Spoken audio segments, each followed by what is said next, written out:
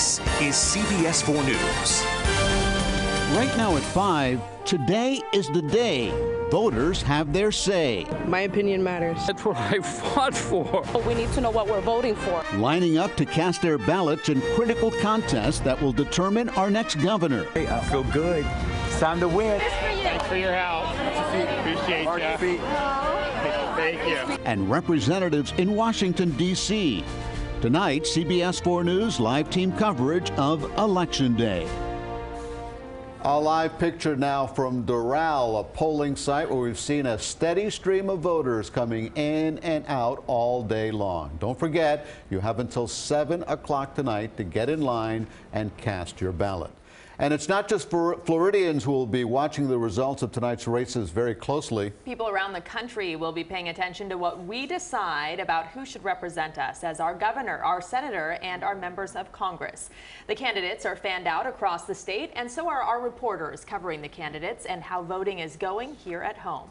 We begin in Orlando tonight with CBS 4's Carey Codd and the Ron DeSantis campaign. Carey. Rudabeh, Elliott, I talked a little while ago with a spokesperson for the DeSantis campaign. They told me that he voted this morning near Jacksonville, then came here to the Rosen Center Hotel in Orlando to relax, unwind, spend some quality time with his family. He'll be watching the results come in here at the hotel, and right now final preparations are being made inside the ballroom just behind the doors here for this event, the campaign event. The doors will open here at 6 o'clock. And today we went out and spoke to several voters here in Orlando, as well as a political expert here in Florida to get a sense of how this race might be decided. Ron DeSantis arrived at his polling place near Jacksonville on Election Day to some applause and support from the crowd. Thank you. Appreciate it. Then he and his wife waited in line to cast their votes. DeSantis will watch the returns Tuesday night in Orlando. At polling places across Orlando, turnout appeared steady on Election Day. At Central Parkway Baptist Church, the line stretched out the door. And voters we spoke with, like the candidates for governor, DeSantis and Democrat Andrew Gillum, hold very different views. I voted for uh, the Republican for governor. Keep taxes where they are. Okay, and I think uh, his opponent wants to raise taxes. I'm going to be voting for Andrew Gillum. He wants better pay for the teachers. He wants to increase gun control.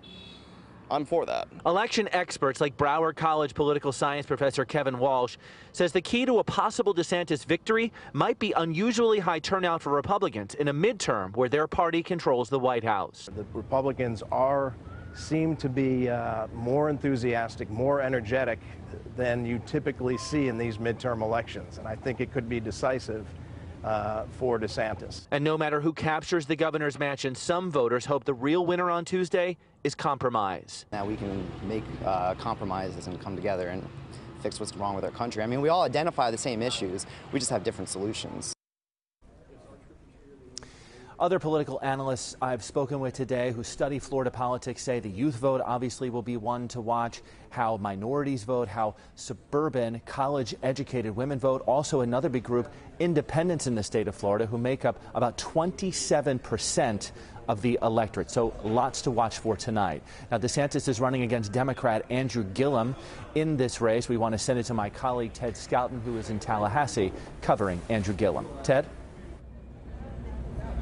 Hi, Carey. Well, here at Florida A&M University, Andrew Gillum is hoping that this is going to turn out to be a victory party here. He's getting everything set up behind us. Uh, right over there, you can see that's where uh, they're trying to get the whole stage and everything uh, ready for him this evening. One thing he's going to have to deal with, though, uh, potentially is rain. We've been having that throughout the day here in Tallahassee. Now, earlier today, he did go out to vote, and he urged those who did not vote early to get to the polls. Great. How do you like your chances Feels today? great. I feel good. Democratic gubernatorial nominee Andrew Gillum finally casting his vote after a very long, nasty campaign. Supporters cheering him on. I'm uh, extremely excited to uh, have just, uh, uh, I guess I can reveal, cast a vote for myself. Uh, uh, Make some noise if you're gonna hit them polls tomorrow and vote for Andrew Gillum.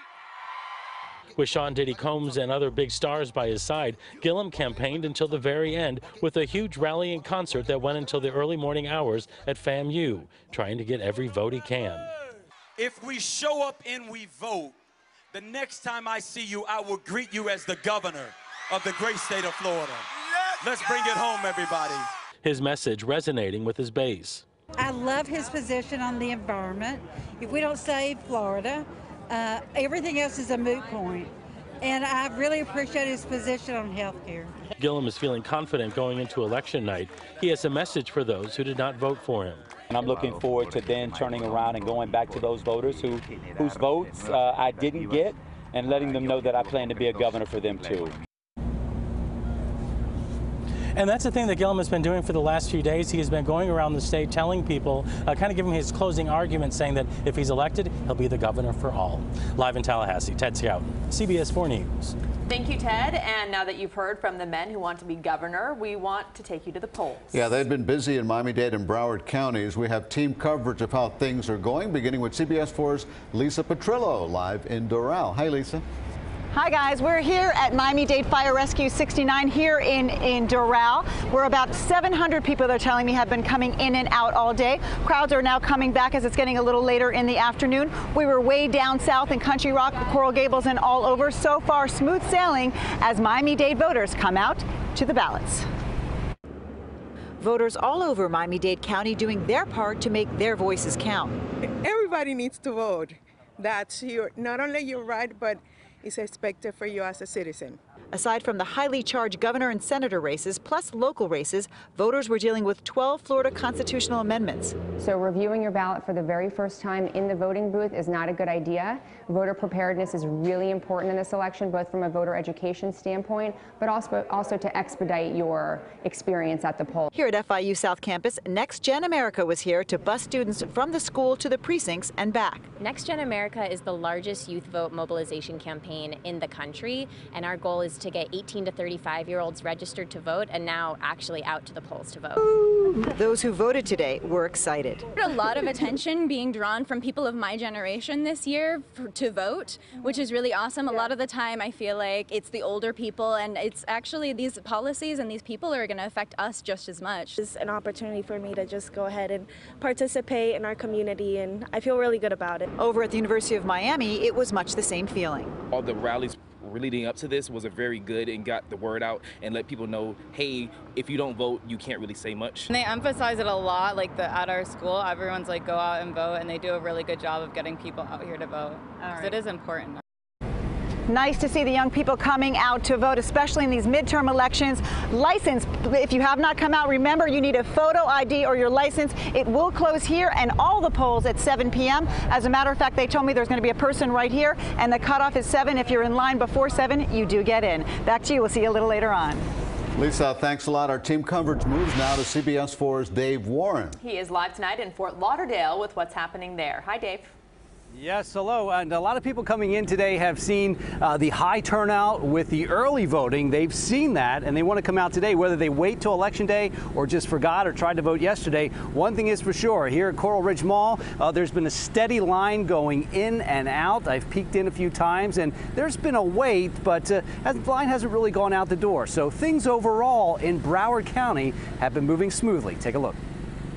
After record early voting, the time has come for those who waited to do so. Seeing lines in a midterm election is, I mean, I can't even describe the feeling. Here at Coral Ridge Mall, that feeling was hardly impatient. There were just a few waiting for the polls to open, and once inside, everything seemed to move smoothest, provided you were at the right place.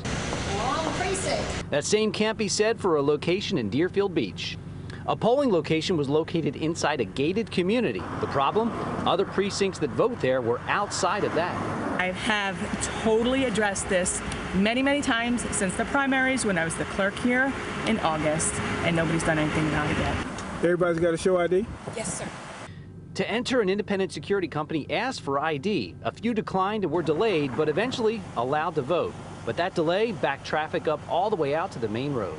Now, according to Brenda Snipes, nobody was prevented from voting at that location. Overall, it seemed that things were running smoothly for those that waited until election day to vote. Exercising their right to have a voice. And for a few today, that reminds them of the sacrifices made for that right. Lost a lot of friends over there.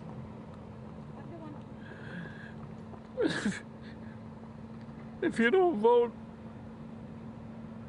What's it all about? Yeah, a lot of range of emotions here as people walked out of the door. And I want to say that part of this story was reported in conjunction uh, with ProPublica's Election Project. They monitor voting problems there across the country. Overall, the things have been looking pretty good here uh, in Broward County. We're live at the Coral Ridge Mall, waiting for that after work crowd to kind of work their way into the area. We'll keep an eye out. Powerful words from that veteran, Dave Warren. Thank you very much for that update from Fort Lauderdale. And while today is Election Day, new early voting numbers are being reported by the State Elections Department.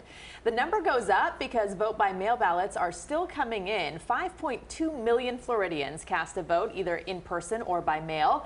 More than a million of those voters cast their votes in Miami-Dade, Broward, and Monroe counties. Now, there are some things you need to know if you have not cast your vote yet. Remember, you must vote at your designated polling site today. And as long as you are in line at 7 o'clock, you will be allowed to vote. If you have an absentee ballot, you need to either drop it off at elections headquarters or have it canceled at a polling place in order to cast a regular ballot. For more on what you need to know before you vote, go to our website, cbsmiami.com slash election guide. Our coverage of Election Day 2018 doesn't end here. Still to come, a look at the other races being watched closely around the country. And where is President Donald Trump today? That's in our next half hour.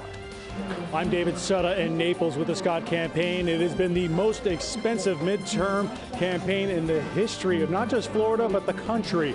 Will it be enough? The story is straight ahead in a live report from Naples. I'm Joan Murray in Orlando with the Democratic Florida Senator Bill Nelson camp. Can he bring it home? I'll have that story straight ahead. Craig Setzer in CBS 4 Weather Control. Pretty nice day today, a little bit on the warm side. We have had a few showers, but mostly over the western parts of South Florida. They're looking pretty good here in the metro areas. Good look at your forecast coming up.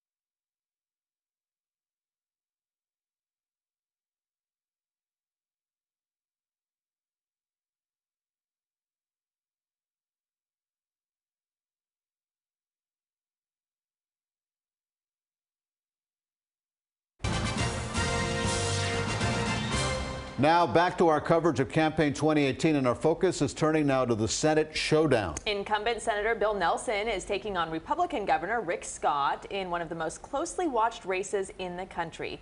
CBS 4's David Sutta kicks off our team coverage with the Scott campaign. He's live tonight in Naples. David.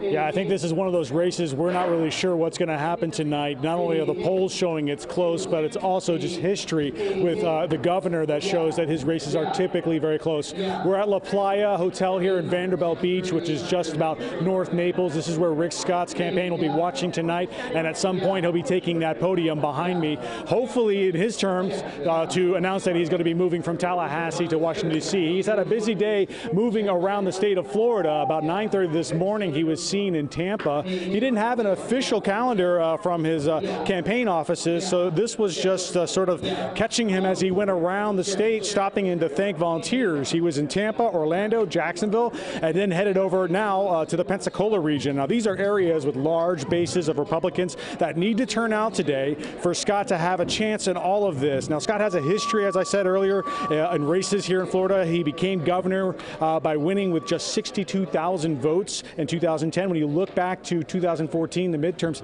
6 million votes were cast in that election. He won by just 64,000 votes in that one. So we caught up with him today in Orlando about his chances of taking a seat that has been owned by the Democrats for 17 years ultimately it becomes a clear choice. Um, Bill Nelson, uh, he doesn't want to work. You know, he's been there for 42 years. He can't name anything he's ever done. Everybody knows I want to work. It, you know, nobody wants their taxes going up. He's voted for higher taxes over 300 times. Uh, my grandson told me, he called me, he says, Grandpa, I want you to win because you let people keep their money.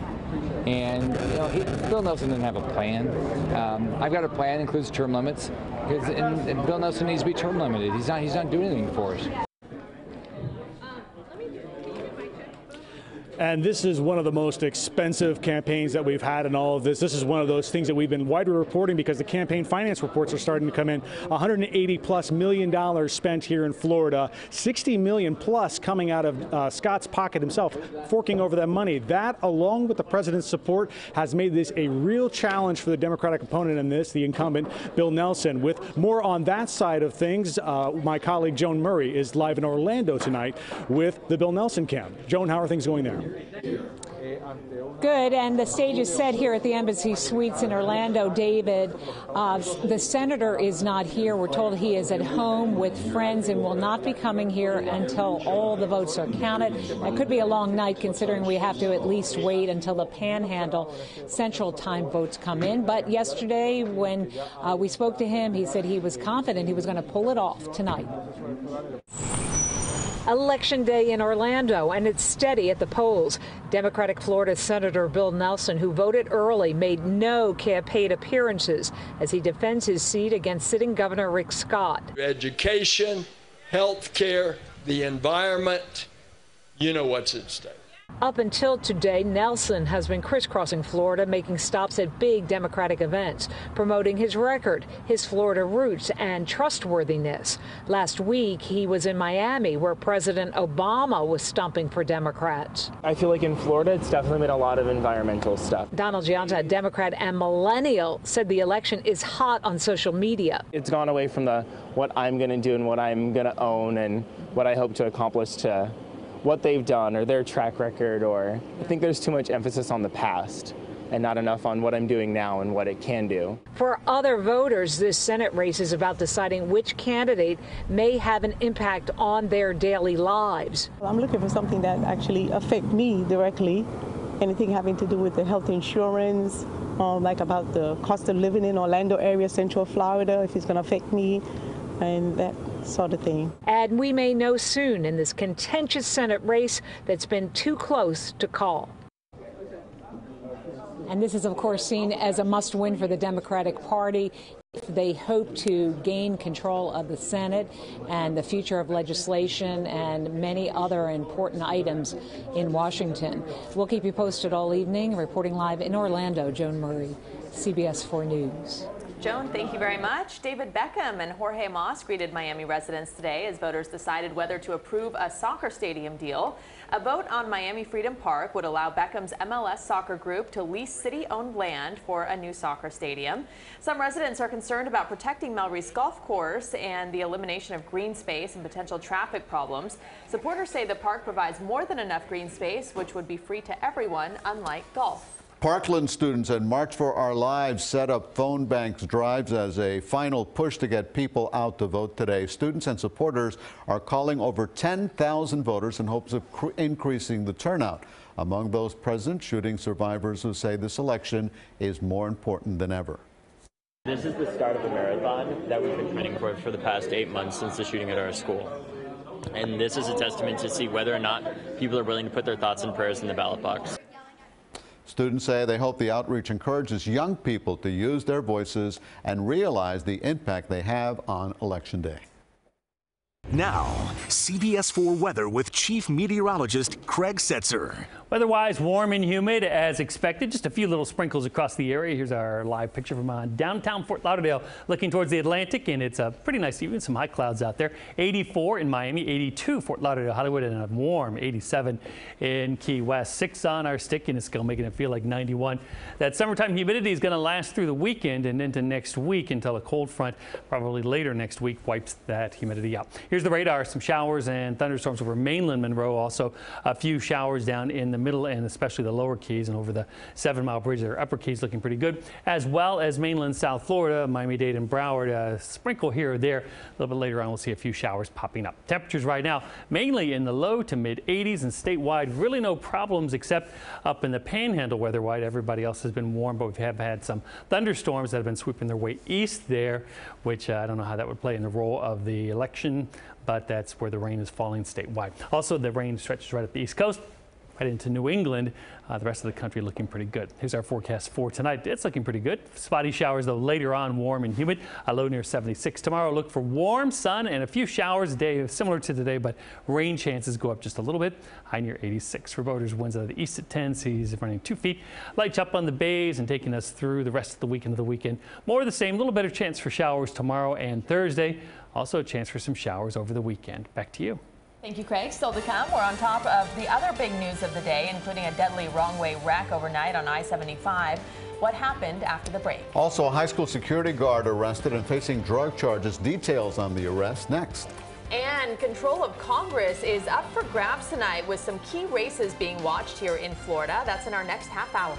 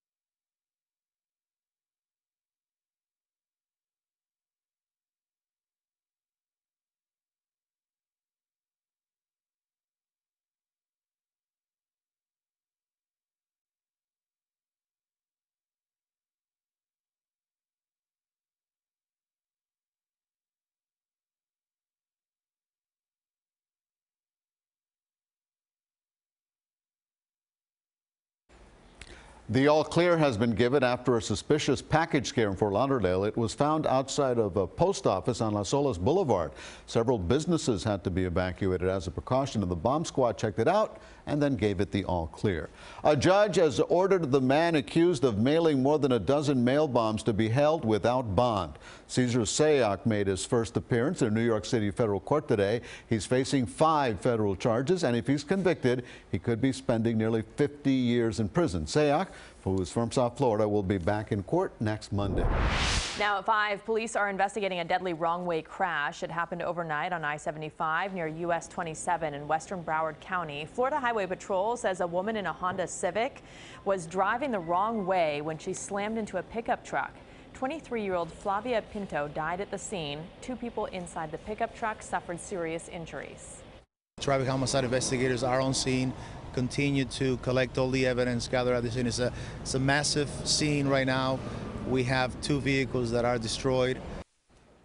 A third vehicle was also involved, but the injuries to the two people in that car were minor. Detectives are investigating whether alcohol was a factor. A high school security guard is behind bars tonight. Police tell us that 43-year-old Jamie Green has been accused of dealing cocaine and marijuana. Police say he works at Felix Varela High School in Miami-Dade. Detectives raided his home and found nearly 30 grams of cocaine, according to police, and nearly 800 grams of marijuana. He's been denied bond and facing numerous drug charges. And now back to our coverage of Campaign 2018. Voting in the midterm election now underway across the state. Remember, you have until 7 tonight to cast your vote, and it must be at your designated polling location. Among the races being decided tonight, who will represent South Florida in Congress? The candidates in several key races hit the ground running today, hoping to sway the races their way. The choices made tonight will determine the balance of power in the House of Representatives. We have CBS 4 News live team coverage of the big races, and we begin with CBS 4's Peter Dench and the race to replace retiring Congresswoman Ileana Ros-Lehtinen. Peter. Well, Rudabeh, both candidates are running for office for the first time. Former broadcast journalist Maria Elvira Salazar is stressing her strong ties to this heavily Hispanic community. Meanwhile, Donna Shalala, former UN president for eight years, is stressing her knowledge of key issues, including health care and immigration reform. As Donna Shalala casts her ballot at Coral Gables Fire Station 3, she says she'll fight for stronger health care. This administration is making war on pre-existing conditions and on Obamacare. 100,000 people in this district have Obamacare, and uh, they want to keep it. Shalala's impressed by long lines of young voters. That's a good sign for America because, frankly, it's their election. It's their future. Shalala's running against Republican Maria Elvira Salazar to replace Ileana Ros-Lehtinen, who is retiring. As Salazar casts her vote at the Jose Marti Park Gymnasium in Little Havana, she stresses her ties to the community. I know what's going on in their countries of origin. For the Nicaraguans and for the Venezuelans and for the Colombians and for the Haitians and for the Cubans, it's very important for them to have somebody that will represent them in Washington that knows what's going on in their countries of origin. And I am that person, not only because I speak Spanish, that has nothing to do with the language, it has to do with the culture. The 56 year old Salazar has stressed her knowledge of Latin American affairs and energy in pursuing issues. Shalala, who was 77 with Health and Human Services Secretary under President Bill Clinton for eight years. She says she has a lot of experience working both sides of the aisle. We're live at Coral Gables. Peter Dench, CBS 4 News. Okay, Peter, thanks a lot. Another race to watch is the contest between incumbent Republican Congressman Carlos Curbelo and his Democratic challenger Debbie Mucarsel Powell. CBS 4's Hank Tester has more on that race. Republican U.S. Congressman Carlos Curbelo at the polls early this election day. He's the incumbent in Florida Congressional District 26. Curbelo is a moderate Republican who represents a district that has steadily gone blue in recent years. Curbelo was reelected in 2016 by 12 points, but Hillary Clinton won the district by 16 points. For that reason, Democrats looked at Curbelo's district as one that's up for grabs, and they've poured millions into the campaign of Debbie Powell in an attempt to unseat Carlos Curbelo. The district stretches across Kendall, Westchester, South Miami-Dade, includes all of the Florida Keys. $20 million has been spent by both sides in this contest, most of it on television political ads. Polls rate the nasty race as a toss up. Curbelo says voters are fed up. They want people in Washington to work together. They want the politicians to put the nasty partisanship aside and get good things done for this community and for the country. Okay, let's move now to CBS 4's Mike Cugno. He is live with Debbie Mucarsel Powell's camp down in southwest Miami-Dade. Mike. Yeah, guys, we're here at where they're supposed to be having a watch party tonight. We spoke to someone from the campaign. They're going to be here around 7, 7.30. As for the candidate herself, Debbie Mucarsel Powell spent the day last minute campaigning. District 26 is about as hotly contested as they come. Newcomer Debbie Mucarsel Powell's attempt to knock off two-term Congressman Carlos Curbelo has been an expensive one. The two sides, along with outside groups, spending more than $20 million. Money Mucarsel Powell knows hasn't fallen on deaf ears. There's definitely a feeling of hope that we can actually get our country and put it back on track. Um, I think that it's very exciting. I, I get a lot of good energy right now.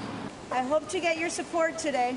She's been campaigning to the last minute, today bouncing around from voting site to voting site.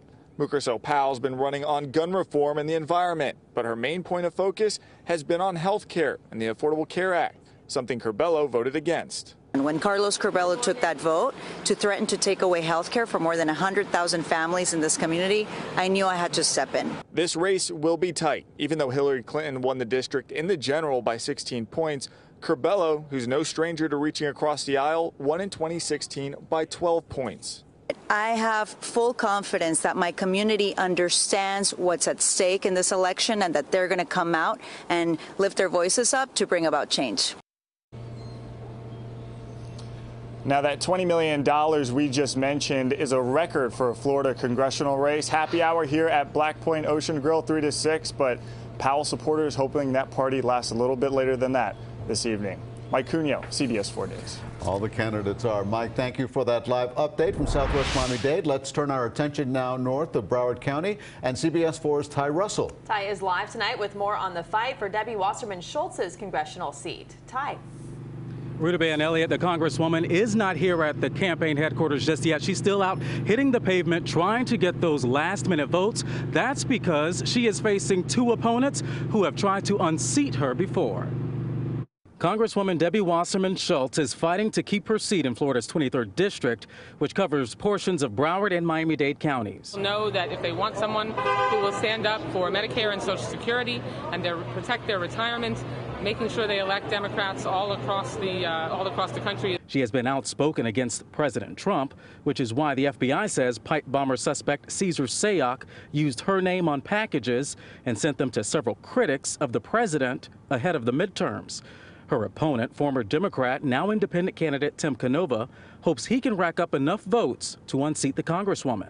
I've been going around the district uh, to polling place after polling place, and it's been very encouraging. Wherever we go, we have a lot of supporters. A lot of people want change. That's very clear. Canova ran as a Democrat in the primary but lost. He also ran for the seat in 2016. Canova and Wasserman Schultz are also facing Republican Joe Kaufman, who has run against the Congresswoman three times before. There's way too much uh, standardized testing, uh, way too way too little uh, vocational training. Kids need to have a good work ethic, and, uh, and that starts from the ground up. Right now, there are no official polls out for this race, so it's still unclear how it may go. Meanwhile, the Congresswoman should be here around 8 o'clock tonight. That's when we will be able to go inside. But for now, we are in Cooper City. I'm Ty Russell, CBS 4 News. Okay, Ty, thank you for that. Our team coverage moves now to CBS 4's Jim DeFede, host of Facing South Florida. Hi, Jim. Hi, Rick. Uh, Rudabeh, uh, Elliott, very nice to see you. We're joined now by CBS News political correspondent Ed O'Keefe. Ed, I just want to talk to you about a couple of things real quick. Let's. I want to get your sense for what would happen. Let's play both scenarios. What happens if the Democrats take the House? What happens then? Then you'll see Democrats immediately launch investigations into a host of issues across the Trump administration. Everything from decisions made on the future of offshore drilling there in Florida to the president's personal finances and taxes to questions about why the Secret Service has to pay rent at places like Mar-a-Lago or Trump Tower here in New York. But you'll also see Democrats pushing for things like an ambitious bipartisan deal on infrastructure spending to rebuild the nation's roads and airports, perhaps a focus on doing something about prescription drug prices, the opioid crisis, and then, of course, negotiations over immigration policy. Does the wall get built and do dreamers get legalized? Those are the kinds of discussions that we should expect to see early next year. All right, let's play the other side of the coin. What happens if Republicans hold on to the House? How much will that embolden the president, and what could we see after that? Totally emboldens the president and Republicans who have vowed to continue finding ways to tweak the Affordable Care Act. But if they've learned one lesson from this election cycle, they understand if they do anything to the nation's health care policy, they've got to protect pre existing condition coverage.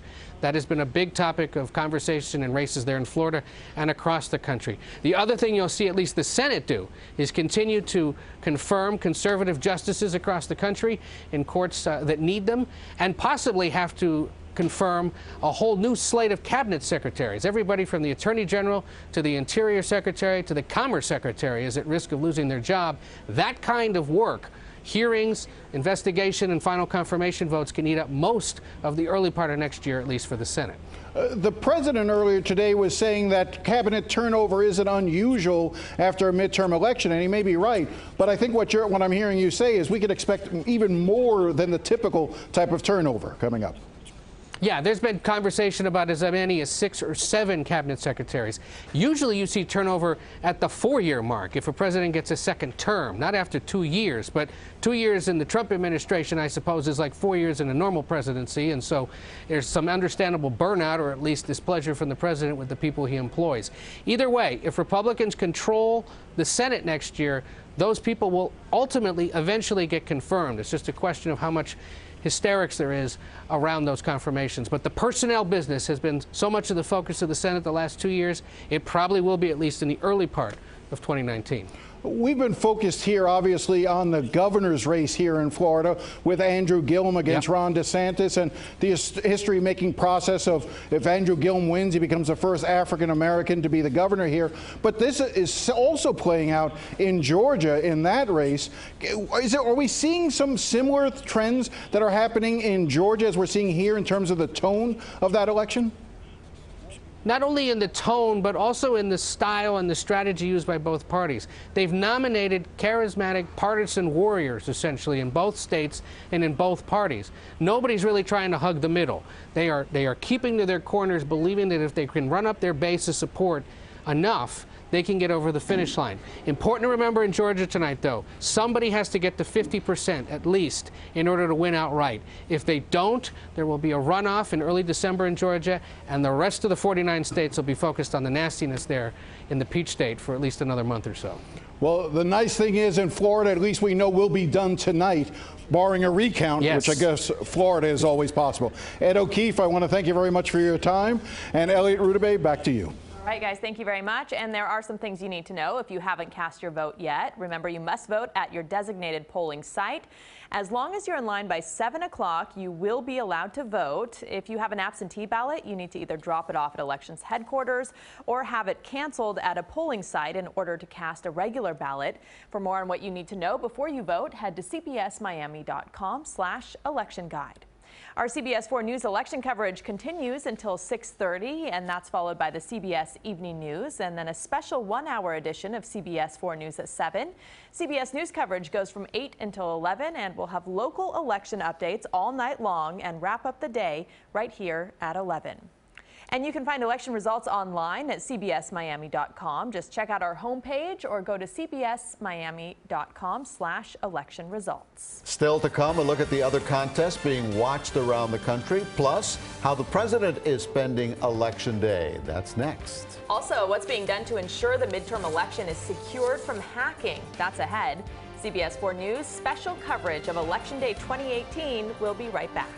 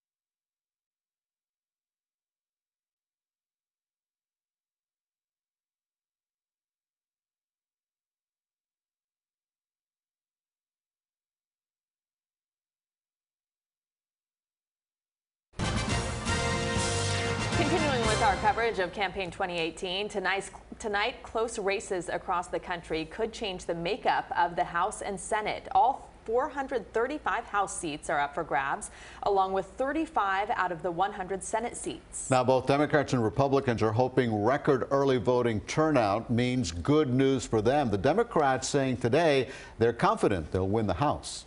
I feel confident uh, that we will win. It's just a question of what the size of the victory is. Well, voters will also decide 35 governor's races. Meantime, President Trump has no public events today. He'll be watching the results at the White House later tonight. Tonight, Georgia could elect the nation's first female African American governor. Democrat Stacey Abrams and Republican Brian Kemp are locked in a tight race there.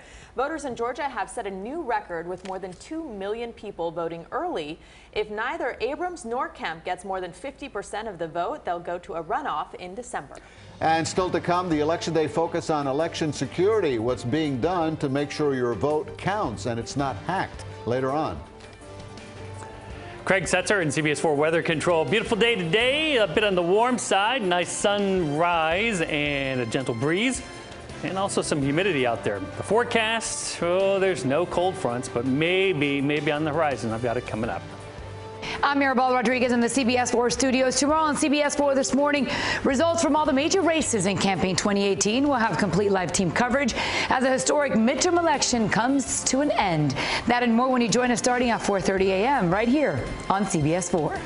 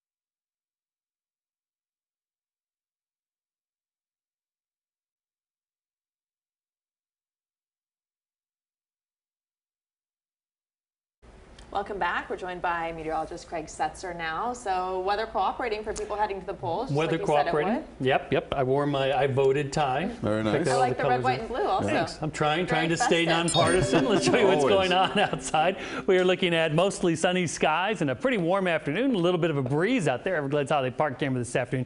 You see the flags on the airboats blowing. Made it up to 85 in Miami, although some spots considerably warmer at the airport just would not warm up as much on the thermometer. And normal is 83, so above the normal. 86 Fort Lauderdale, Hollywood, and 88 tying the record set back in 1880 for Key West. Here's the radar right now. I'm showing not much activity going on over the mainland, Miami-Dade and Broward. There are some showers to our southeast that they're going to reach South Florida later on tonight. Some showers over on the west coast, the southwest coast, and some showers right now moving through the lower Keys, and that's going to be off and on as we go through the evening. Breeze east to southeast, anywhere from 10 to about 14 miles an hour, and temperatures not too bad, mainly in the mid 80s right now. But humidity levels making the feels like temperatures feel like about 90 degrees. Satellite loop, you can see the clouds coming in, a few little tiny sprinkles or light showers from a few of those clouds. All in all, they're looking pretty good. This little line right here, that is a cold front that triggered some severe weather last night. It's bringing some rain right now into the panhandle. That is a cold front, but it is not going to be coming through. In fact, it's kind of losing its push there, and we're kind of stuck here in the tropical humidity for November. So here's we go through the week Friday, Saturday, a little drier in North Florida, Sunday, Monday. Finally, by Tuesday, it does look like a cold front is heading our way. It's not here yet, so we're in warm, hu high humidity air right through the weekend and into early next week. Spotty showers around uh, later on tonight, and right now in the Keys, warm and humid, a low near 76. The lower Keys getting the brunt of the evening rainfall. Tomorrow, warm sun, a few showers uh, moving through. High temperature near 86 degrees. Pollen count showing that uh, mold is medium and palm is low, taking us through the rest of the week. Temperatures stay warm above normal. Highs in the mid and sometimes upper 80s. Some sun and some showers for tomorrow. Spotty showers around on Thursday and the weekend right now. More sun and a few showers here or there, but no cold fronts. Maybe the middle of next week. Back to you. Look forward to that. Craig, thank you. We've got some uh, breaking news to tell you about right now out of Homestead, where there is a heavy police presence following a deadly shooting. Chopper 4 is over the scene in the 2800 block of Southeast First Drive in Homestead. We're told one person is dead, and they're investigating this as a homicide. We'll continue to follow this breaking news and bring you updates as we get them. And still to come here on CBS 4 News, election security. It's a top concern from the Department of Homeland Security. Have you given it much thought? What you need to know about what the government is doing to protect your vote. Next. And a reminder, if you see news or weather happening, take a picture, send it to us. Our email is cbs4pics at cbs.com, and you may see your pictures on TV.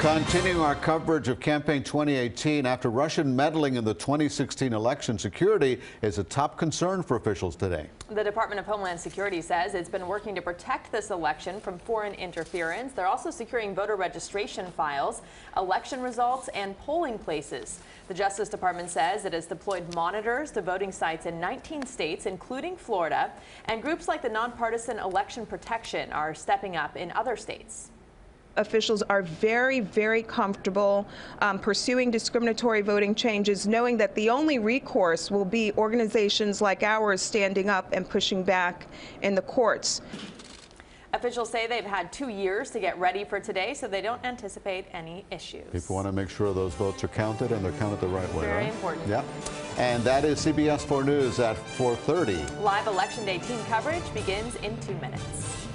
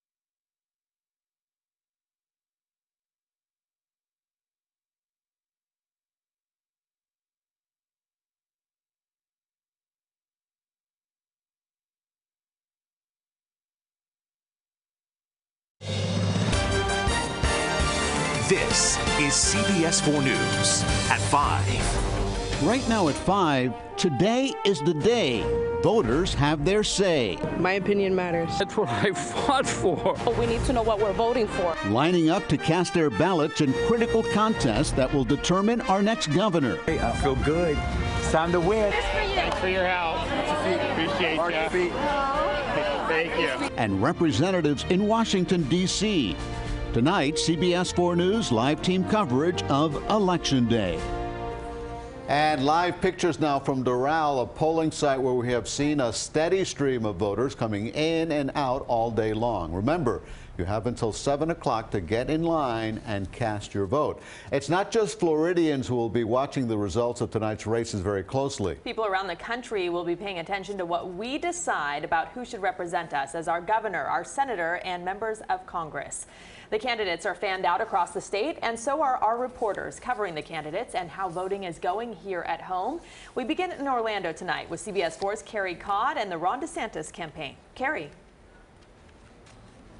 Good afternoon, Rudabeh and Elliott. We are inside the ballroom at the Rosen Center Hotel in Orlando. It is all set up for the Ron DeSantis campaign party. Doors will open here at 6 o'clock tonight.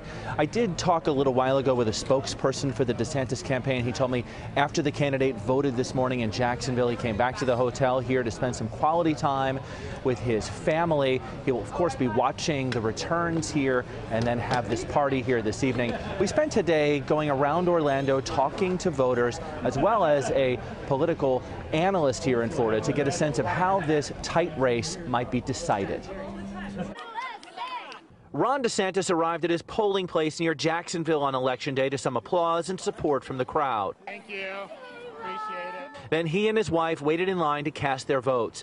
DeSantis will watch the returns Tuesday night in Orlando. At polling places across Orlando, turnout appeared steady on Election Day. At Central Parkway Baptist Church, the line stretched out the door. And voters we spoke with, like the candidates for governor, DeSantis and Democrat Andrew Gillum, hold very different views. I voted for uh, the Republican for governor, keep taxes where they are. Okay, and I think uh, his opponent wants to raise taxes. I'm going to be voting for Andrew Gillum. He wants better pay for the teachers, he wants to increase gun control. I'm for that. Election experts like Broward College political science professor Kevin Walsh says the key to a possible DeSantis victory might be unusually high turnout for Republicans in a midterm where their party controls the White House. The Republicans are seem to be uh, more enthusiastic, more energetic than you typically see in these midterm elections, and I think it could be decisive uh, for DeSantis. And no matter who captures the governor's mansion, some voters hope the real winner on Tuesday is compromise. Now we can make uh, compromises and come together and fix what's wrong with our country. I mean, we all identify the same issues, we just have different solutions. Now, I spoke to a couple of other analysts who study Florida politics. They told me they'll also be watching the youth vote closely, the minority vote, how college educated suburban women vote, and also a very important group, the registered independents in Florida. They make up about 27% of Florida's electorate, about three and a half million votes. Now, DeSantis is running against Democrat Andrew Gillum. My colleague Ted Scouten is with the Gillum campaign in Tallahassee. He's up there with a live report. Ted? Hi, Carey. Well, Andrew Gillum is hoping that his uh, event here at Florida A&M University is going to turn out to be a victory party tonight, but uh, he's going to have some competition with the rain. It's been raining all day, uh, throughout the day here in Tallahassee. You can see uh, that's where the stage is set up. It's all covered in plastic uh, because of all the rain. Earlier today, however, he uh, voted here in Tallahassee and urged those who did not vote early to get to the polls. Great. How do you like your chances Feels today? Great. I feel good. Democratic gubernatorial nominee Andrew Gillum finally casting his vote after a very long, nasty campaign. Supporters cheering him on. I'm uh, extremely excited to uh, have just, uh, uh I guess I can reveal, cast a vote for myself. Uh, uh, Make some noise if you're gonna hit them polls tomorrow and vote for Andrew Gillum. With Sean Diddy Combs and other big stars by his side, Gillum campaigned until the very end with a huge rallying concert that went until the early morning hours at FAMU, trying to get every vote he can. If we show up and we vote, the next time I see you, I will greet you as the governor of the great state of Florida. Let's bring it home, everybody. His message resonating with his base. I love his position on the environment. If we don't save Florida, uh, everything else is a moot point. And I really appreciate his position on health care. Gillum is feeling confident going into election night. He has a message for those who did not vote for him. And I'm looking forward to then turning around and going back to those voters who, whose votes uh, I didn't get and letting them know that I plan to be a governor for them too. And another live look here at Florida A&M University. This is the stage where Andrew Gillum will be tonight. As we said, he's hoping that this is going to be a victory party, but uh, one thing he's going to have to compete with is the rain. There's been a lot of rain here in Tallahassee today. Live in Tallahassee, Ted Scout, CBS 4 News. All right, Ted, thanks a lot. Now you've heard from the men who want to be governor, want to take you to the polls. Yeah, they've been busy in Miami-Dade and Broward counties. We have team coverage of how things are going, beginning with CBS 4's Lisa Petrillo live in Doral. Lisa. Hi there. Yeah, with over 5 million that have pre-voted all over the state of Florida, it's been kind of a mellow day, but they're showing up more now that it's becoming after the 5 o'clock hour. We're here at the Miami-Dade Fire Rescue 69 here in Doral. We've been all over South Florida today as Miami-Dade comes out to vote and take notice. Voters all over Miami-Dade County doing their part to make their voices count. Everybody needs to vote. That's your, not only your right, but it's expected for you as a citizen. Aside from the highly charged governor and senator races, plus local races, voters were dealing with 12 Florida constitutional amendments. So reviewing your ballot for the very first time in the voting booth is not a good idea. Voter preparedness is really important in this election, both from a voter education standpoint, but also, also to expedite your experience at the poll. Here at FIU South Campus, NextGen America was here to bus students from the school to the precincts and back. NextGen America is the largest youth vote mobilization campaign in the country, and our goal is to get 18 to 35 year olds registered to vote and now actually out to the polls to vote. Those who voted today were excited. A lot of attention being drawn from people of my generation this year for, to vote, which is really awesome. A lot of the time, I feel like it's the older people, and it's actually these policies and these people are going to affect us just as much. It's an opportunity for me to just go ahead and participate in our community, and I feel really good about it. Over at the University of Miami, it was much the same feeling. All the rallies leading up to this was a very good and got the word out and let people know, hey, if you don't vote, you can't really say much. And they emphasize it a lot, like the, at our school, everyone's like, go out and vote, and they do a really good job of getting people out here to vote. Because right. it is important. All right, so you have a little less than two hours. We have heard some people have been turned away because they didn't bring this, your license. So make sure you do it. You have under two hours to get here. And when the line will cut off at 7 o'clock, if you are in line before 7, you can vote up until then. We'll be back at 6 o'clock with another report. Back to you in the studio. Important to know. Lisa, thank you for that update from Doral. Our team coverage moves now to CBS 4's Dave Warren. He is live tonight in Fort Lauderdale with what's happening there. Dave. Yes, uh, there's a lot of energy here from the uh, excitement from the early voting, that record turnout, uh, but a lot of people now starting to fill into the Coral Ridge Mall, this uh, after work rush. There's also a lot of volunteers out here, here picking up the signs and all the activity is going on here now today. Now it's been steady, hasn't been overly crowded, but overall there's been very few problems here. Let's check in with the rest of the county. After record early voting, the time has come for those who waited to do so. Seeing lines in a midterm election is, I mean, I can't even describe the feeling. Here at Coral Ridge Mall, that feeling was hardly impatient. There were just a few waiting for the polls to open, and once inside, everything seemed to move smoothest, provided you were at the right place. Wrong. That same can't be said for a location in Deerfield Beach. A polling location was located inside a gated community. The problem? Other precincts that vote there were outside of that. I have totally addressed this many, many times since the primaries when I was the clerk here in August, and nobody's done anything about it yet. Everybody's got a show ID? Yes, sir. To enter, an independent security company asked for ID. A few declined and were delayed, but eventually allowed to vote. But that delay backed traffic up all the way out to the main road. Now, according to Brenda Snipes, nobody was prevented from voting at that location. Overall, it seemed that things were running smoothly for those that waited until election day to vote exercising their right to have a voice. And for a few today, that reminds them of the sacrifices made for that right. Lost a lot of friends over there.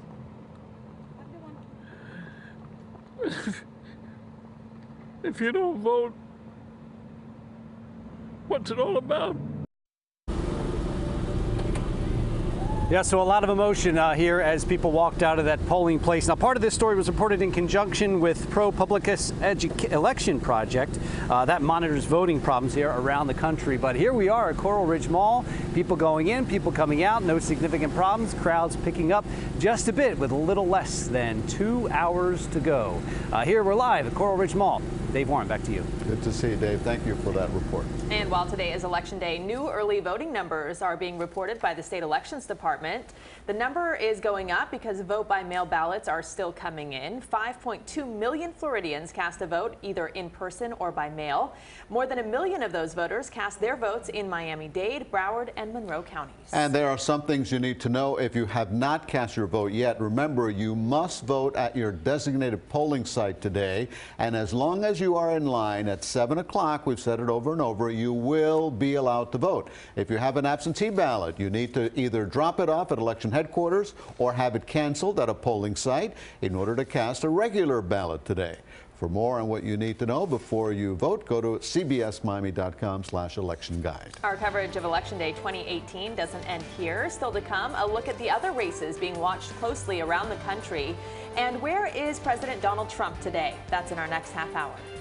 I'm David Sutta in Naples with the Scott campaign. It has been the most expensive midterm campaign in the history of not just Florida, but the country. Will it be enough? The story is straight ahead in a live report from Naples. I'm Joan Murray in Orlando with the Democratic Florida Senator Bill Nelson camp. Can he bring it home? I'll have that story straight ahead. Craig Setzer in CBS 4 Weather Control, where it has been a nice day across South Florida and the Keys, warm, humid, and even tropical looking. I'm going to look at your forecast through the weekend and when do we see another cold front? That's coming up.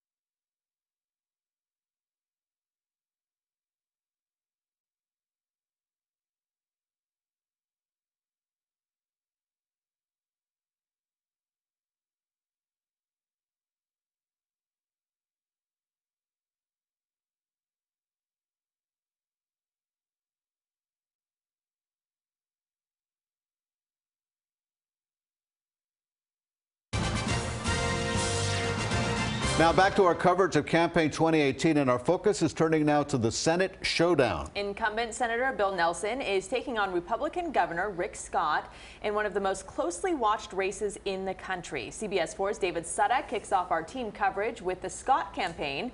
He's live tonight in Naples. David. Yeah, this is one of those races that everyone is watching closely because it's not just the polls that have this neck and neck. It is the history with Governor Scott. He's always had close calls on every one of his election nights. Of course, there's not a lot, just two of them, but nonetheless, it's always been close. As you see the podium behind me, he's hoping to take that podium tonight to announce that he's going to be moving from Tallahassee to Washington, D.C. We'll have to see. He spent the day traveling around the state. Let's go ahead and show you some video of his stop in Orlando. He was in Tampa, Orlando, and Jacksonville, in Pensacola, uh, basically thanking all of the volunteers for coming out on his behalf. Uh, it has been a long campaign and an expensive one at that. These are the areas, though, those cities where a large base of Republicans are, and they are going to need to turn out for him to have a chance to win tonight. Scott does have that history of close races here. In uh, 2010, he won by just 64,000 votes, and then you look back to 2014, the midterm against Charlie Crist, he won that one by 64,000 votes. We caught up with him today and asked him about why he thinks now is an opportunity to unseat a Democrat who's held the seat for 17 years ultimately it becomes a clear choice. Um, Bill Nelson, uh, he doesn't want to work. You know, he's been there for 42 years. He can't name anything he's ever done. Everybody knows I want to work. It, you know, nobody wants their taxes going up. He's voted for higher taxes over 300 times. Uh, my grandson told me, he called me, he says, Grandpa, I want you to win because you let people keep their money. And you know, he, Bill Nelson didn't have a plan. Um, I've got a plan, includes term limits, because Bill Nelson needs to be term limited. He's not. He's not doing anything for us. Who's tired of all of those campaign ads? I'm sure many of you are. I can tell you that this has been one of the most expensive uh, midterm campaigns in the history of Florida and the country. 180 million plus spent here. That's a lot of commercials on YouTube, Facebook, and Twitter, and all of that uh, coming from both sides. Uh, Governor Scott actually spent 60 plus million dollars out of his own pocket for this campaign. It was something that uh, Senator Bill Nelson had a challenge to compete with. He also had to compete with the fact that uh, the president was in endorsing Rick Scott and obviously campaigning on that. With more on Bill Nelson's side of things, I'm going to be joined now by my fantastic colleague, Joan Murray, who is in Orlando with uh, the Nelson camp. Joan, how are things looking there? Uh, good, David. And the watch party hasn't started here yet at the Embassy Suites. We're told the senator is at home and will not be here until this race is decided. This is a real nail biter and probably his toughest comp- competition yet. Election day in Orlando, and it's steady at the polls. Democratic Florida Senator Bill Nelson, who voted early, made no campaign appearances as he defends his seat against sitting Governor Rick Scott. Education, health care, the environment, you know what's at stake.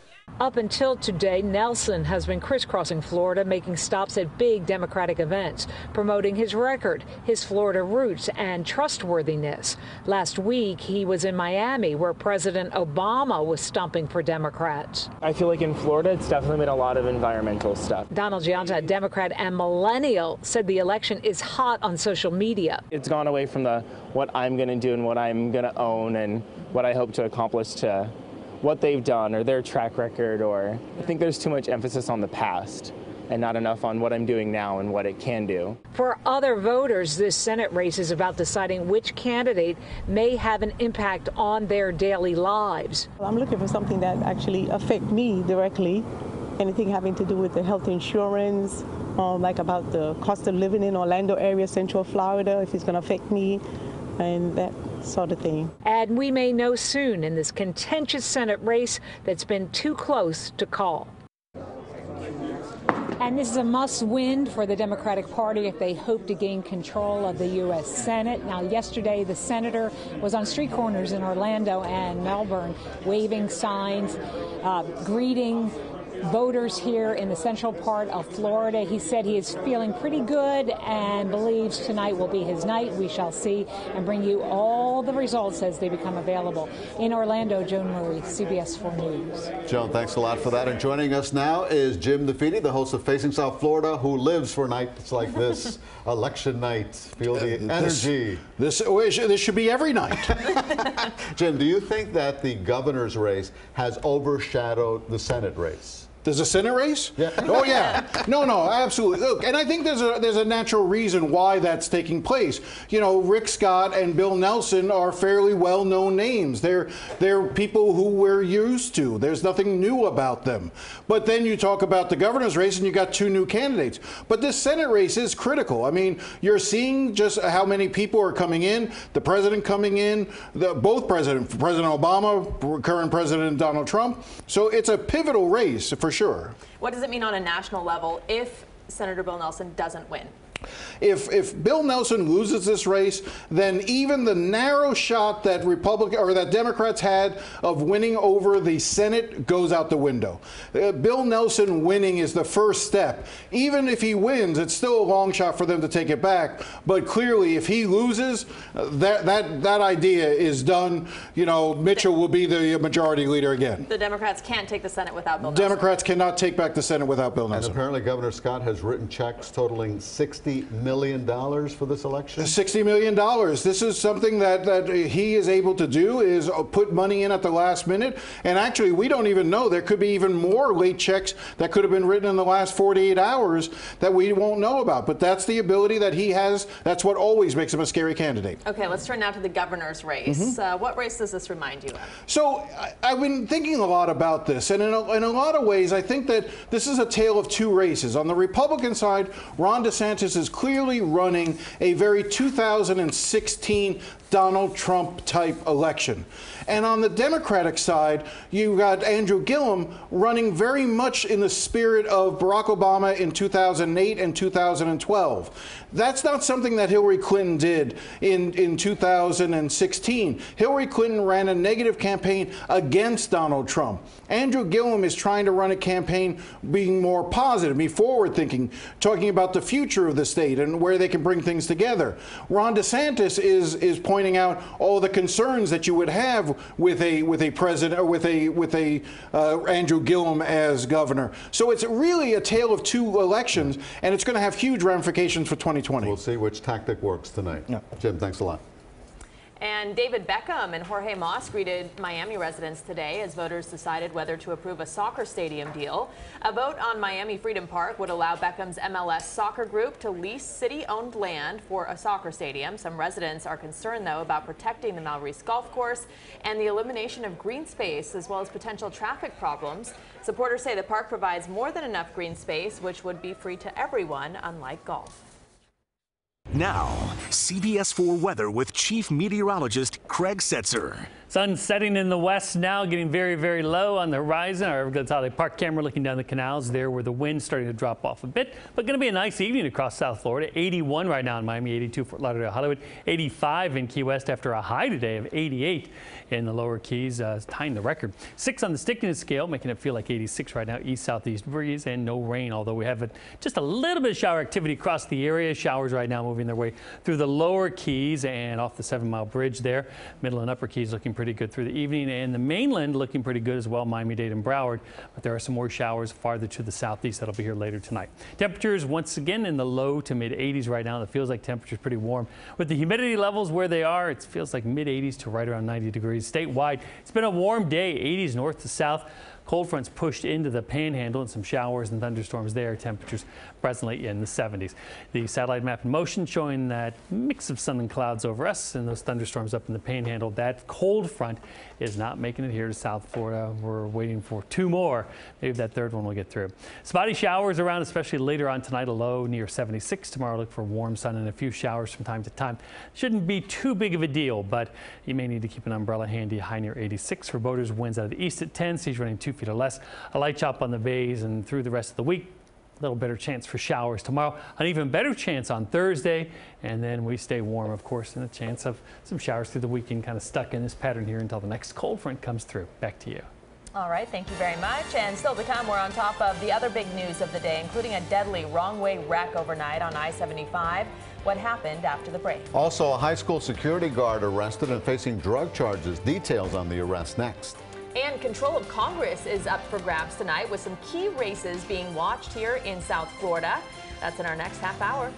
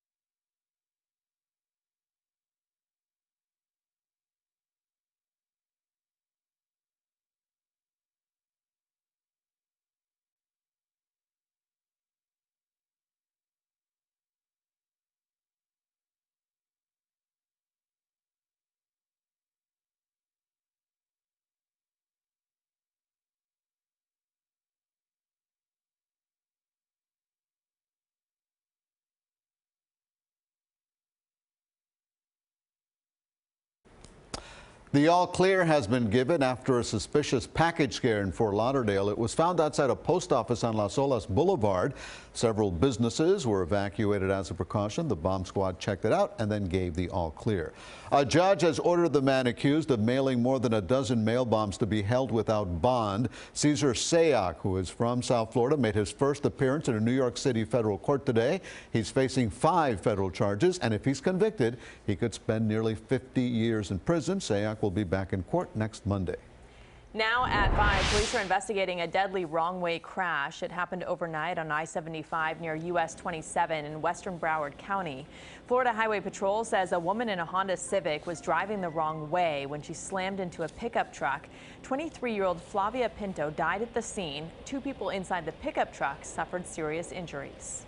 Traffic homicide investigators are on scene continue to collect all the evidence gathered at the scene. It's a, it's a massive scene right now. We have two vehicles that are destroyed. A third vehicle was also involved, but the injuries to the two people in that car were minor. Detectives are investigating whether alcohol was a factor. A high school security guard is behind bars tonight. Police say that 43-year-old Jamie Green is accused of dealing cocaine and marijuana. Police say he works at Felix Varela High School in Miami-Dade County. Detectives raided his home and found nearly 30 grams of cocaine, according to police, and nearly 800 grams of marijuana. He's been denied bond and is facing numerous drug charges. Now back to our coverage of campaign 2018 and voting in the midterm election now underway across the state. Remember, you have until 7 tonight to cast your vote, and it must be at your designated polling location. Among the races being decided tonight, who will represent South Florida in Congress? The candidates in several key races hit the ground running today, hoping to sway the races their way. The choices made tonight will determine the balance of power in the House of Representatives. We have CBS 4 News live team coverage of the big races. We begin with CBS 4's Peter Dench and the race to replace retiring Congresswoman Ileana Ros-Lehtinen. Peter. May, both candidates are running for office for the first time. Former broadcast journalist Maria Elvira Salazar stressing her ties to this heavily Hispanic district. Meanwhile, former UN President Donna Shalala is, is uh, stressing her experience with and knowledge of key issues, including health care and immigration reform. As Donna Shalala casts her ballot at Coral Gables Fire Station 3, she says she'll fight for stronger health care. This administration is making war on pre-existing conditions and on Obamacare. 100,000 people in this district have Obamacare, and uh, they want to keep it. Shalala's impressed by long lines of young voters. That's a good sign for America because, frankly, it's their election. It's their future. Shalala is running against Republican Maria Elvira Salazar to replace Ileana Ros-Lehtinen, who is retiring. As Salazar casts her vote at the Jose Marti Park Gymnasium in Little Havana, she stresses her ties to the community. I know what's going on in the countries of origin. For the Nicaraguans and for the Venezuelans and for the Colombians and for the Haitians and for the Cubans, it's very important for them to have somebody that will represent them in Washington that knows what's going on in their countries of origin. And I am that person, not only because I speak Spanish, that has nothing to do with the language, it has to do with the culture. Now, the 56 year old Salazar has stressed that her knowledge of Latin American affairs is very important, as well as her energy. Meanwhile, Shalala, who is 77, had been Health and Human Services Secretary for eight years under President Bill Clinton. We're live in Coral Gables. Peter Dench, CBS 4 News. Peter, thanks for the update from the Gables. Another race to watch is the contest between these two incumbent Republican Carlos Curbelo and his Democratic challenger Debbie Mucarsel Powell. CBS 4's Hank Tester kicks off our team coverage of this race. He is with the Curbelo camp in southwest Miami Dade. Hank? Well, Elliot, this is a story of two really nice people who are saying awful things about each other. That's one story. The other one here, of course, it's a big one. The nation is watching this particular race. Will the blue wave happen? Will it start here? This is a fascinating contest, and who's going to win? Really hard to tell. Let's take a look. Republican U.S. Congressman Carlos Curbelo at the polls early this election day. He's the incumbent in Florida Congressional District 26. Curbelo is a moderate Republican who represents a district that has steadily gone blue in recent years. Curbelo was reelected in 2016 by 12 points, but Hillary Clinton won the district by 16 points. For that reason, Democrats looked at Curbelo's district as one that's up for grabs, and they've poured millions into the campaign of Debbie Powell in an attempt to unseat Carlos Curbelo. The district stretches across Kendall, Westchester, South Miami-Dade, includes all of the Florida Keys. $20 million has been spent by both sides in this contest, most of it on television political ads. Polls rate the nasty race as a toss-up. Curbelo says voters are fed up. They want people in Washington to work together. They want the politicians to put the nasty partisanship aside and get good things done for this community and for the country. Well, back live talking around here and elsewhere in the community today, no one really has a feel on this race. Frankly, right now, consider it a toss-up. I'm Hank Tester, CBS 4 News. Back to you. Certainly looks like that one, uh, Hank. Thank you. We move now to CBS 4's Mike Cugno. He is live with Debbie Mucarsel Powell's camp in down in Southwest Miami-Dade. Mike. Hey guys, we're at Black Point Ocean Grill. Supporters and organizers are starting to get things ramped up here.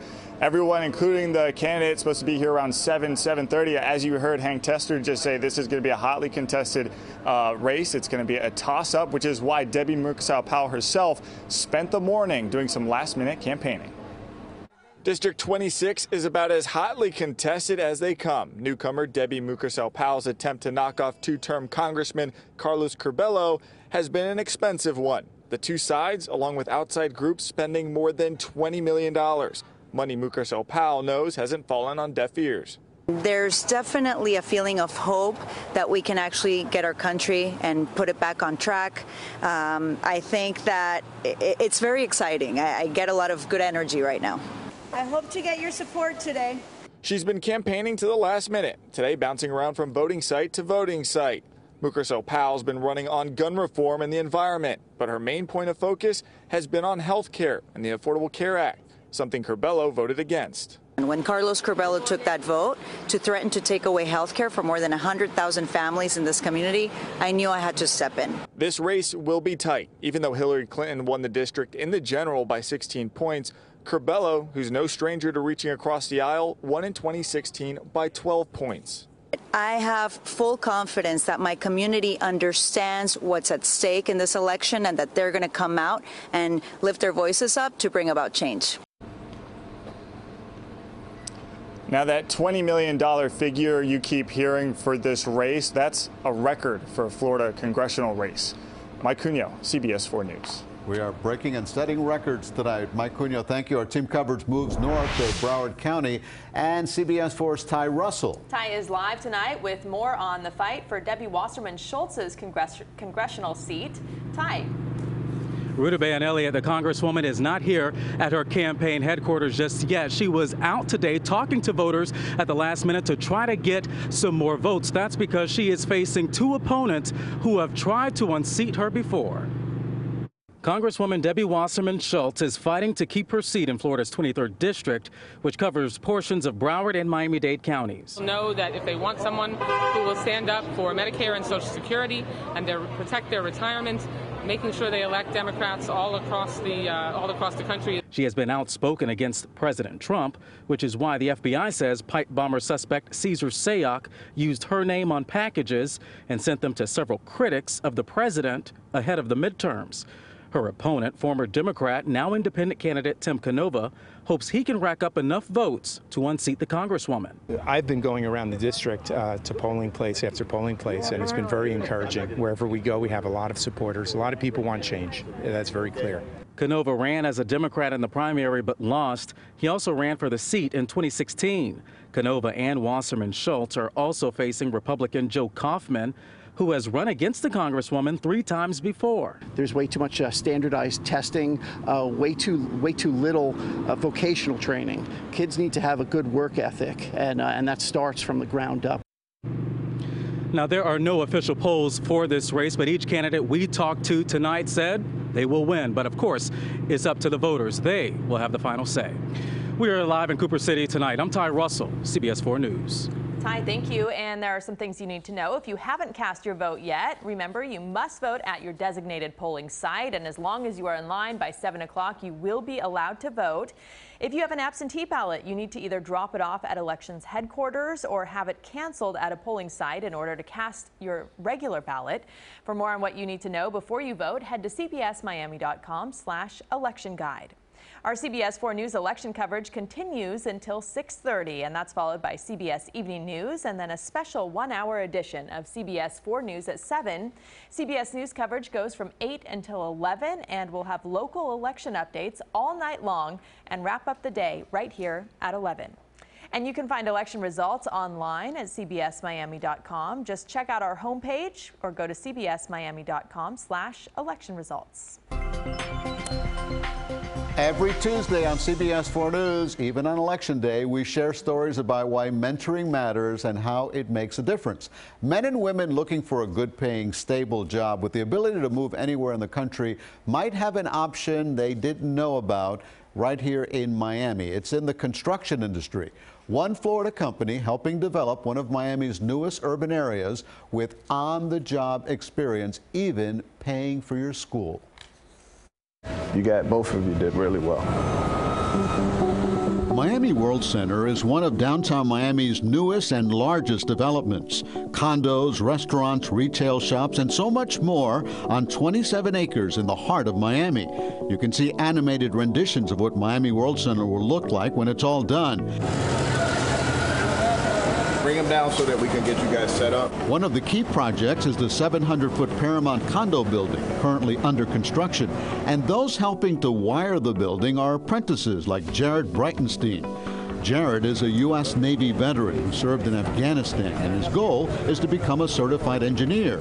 Jared joined the apprentice program nearly a year ago after serving as an intelligence specialist with the Navy. I was unemployed for quite a while trying to find a job after the military. I was too qualified for some jobs, not qualified enough for others. And so I really wanted the opportunity to learn a trade. That's where Christopher Riley steps in as Jared's boss and mentor. Riley is the project executive for Power Design Incorporated here at the Paramount Condos. The beauty is the company pays for the apprenticeship fees and the actual credits and program curriculum qualifies towards credit for a bachelor's degree. You are qualified to take your journeyman's license and become a journeyman electrician. On this project, that's $21 an hour for a first year apprentice, up to $44 for a journeyman electrician. And for this veteran and father of three boys, it means so much more. This is an opportunity to kind of change your life around. He had no experience in the industry, but he is a U.S. Navy veteran. He has an aptitude for learning, and he's well on his way to learning our industry. He's doing really well so far. So is Jasmine McWilliams, who grew up in nearby Allapattah. She's had several jobs over the years with little or no success until she also met Christopher Riley, and he took her under his wing.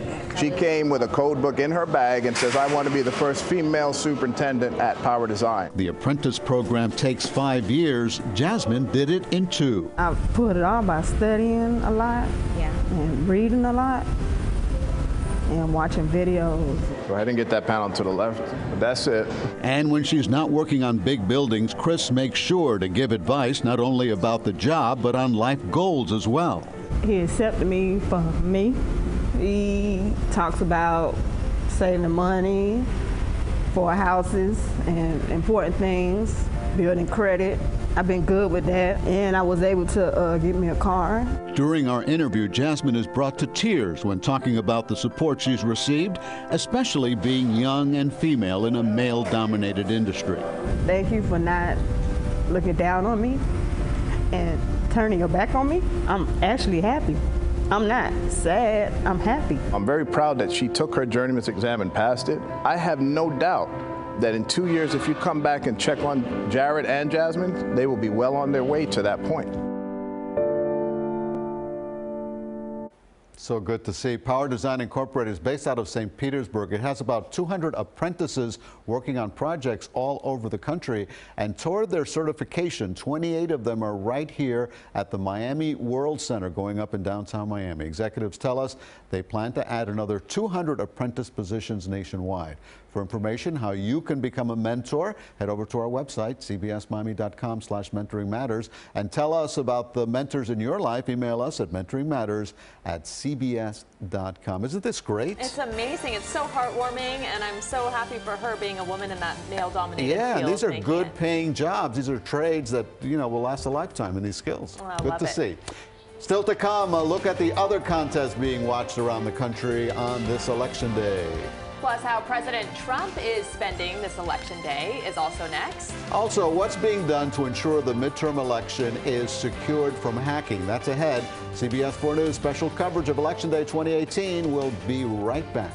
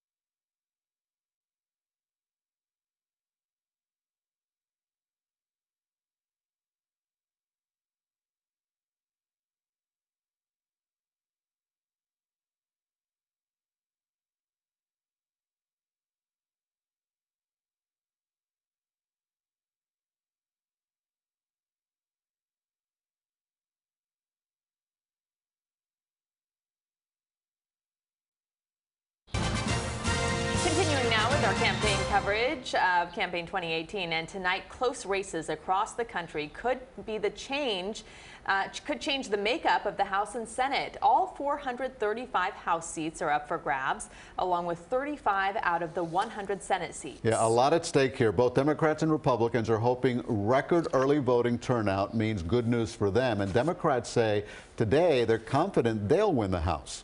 I feel confident uh, that we will win. It's just a question of what the size of their victory is.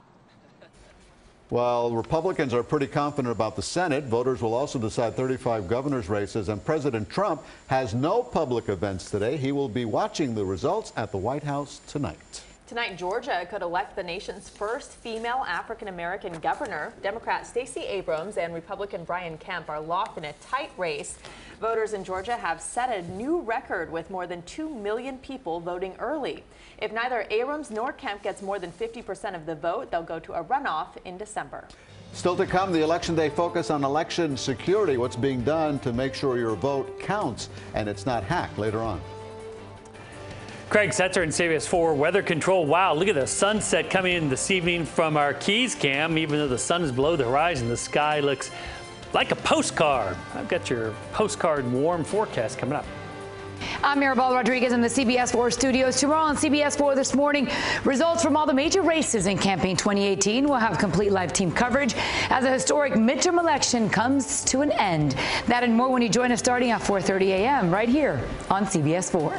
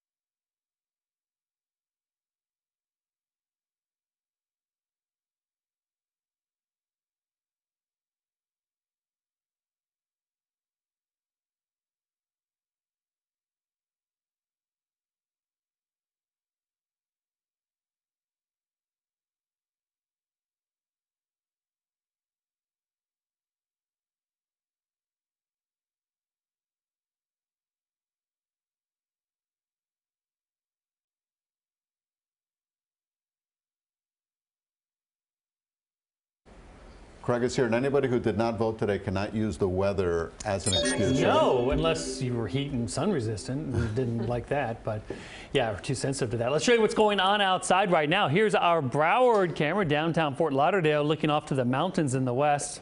No, no, no. We're not in Colorado, but kind of looks like uh, mountains. There's some low clouds on the horizon. The high cirrus clouds being backlit by the sun, looking pretty good in pink. And it's a nice evening.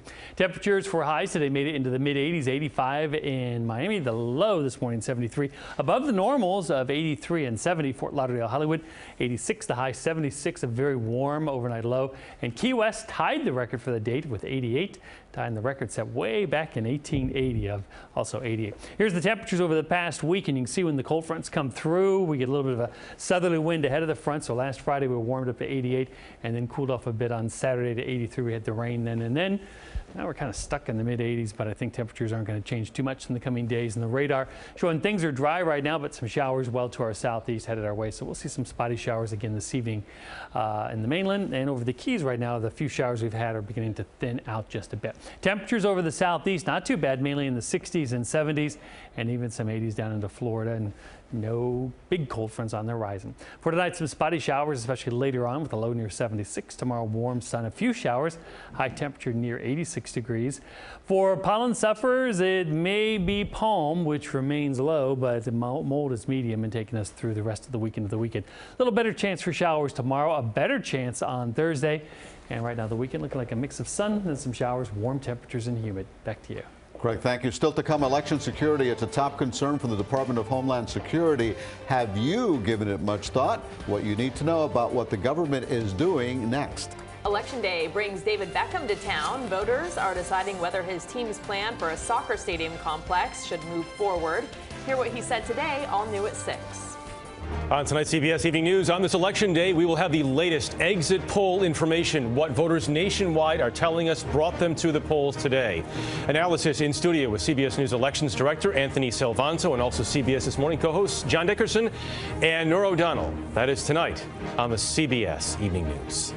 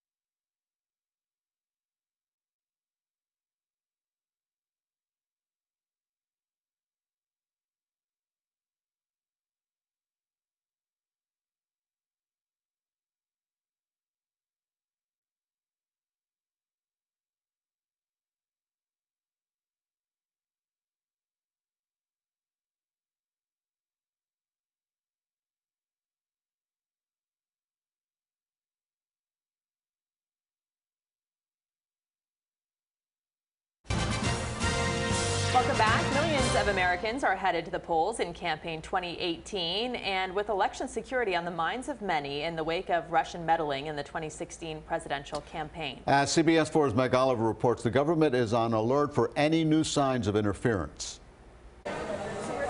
This is the first nationwide voting since Russia targeted the last U.S. presidential election, and millions of Americans are making their voices heard. I'm hoping that even my little vote can help make some change. The Department of Homeland Security says it's been working behind the scenes to protect this midterm election from foreign interference. I have a simple message for any foreign adversary who seeks to interfere or impact our elections. Do not try. In addition to blocking foreign influence, the Homeland Security Office is responsible for election security closer to home. That includes protecting voter registration files, election results, and polling places. There's a steady flow of voters here in New York City. New York is one of 19 states where the Justice Department deployed monitors from the Civil Rights Division to make sure voting laws are upheld. Throughout those states, 35 precincts are under watch to make sure all citizens have access to the ballot. Monitors are looking for signs of discrimination or intimidation. At this time, we have no indication of compromise to our nation's election infrastructure that would prevent voting, change vote counts, or distrust the ability to tally votes. Security officials point out they've had two years to get ready for this day. They're hoping problems are limited to long lines and isolated technical glitches. Meg Oliver, CBS News, New York. The long lines hopefully are a good thing. Yes. All right, and that is CBS 4 News at 530. This is CBS 4 News at 6.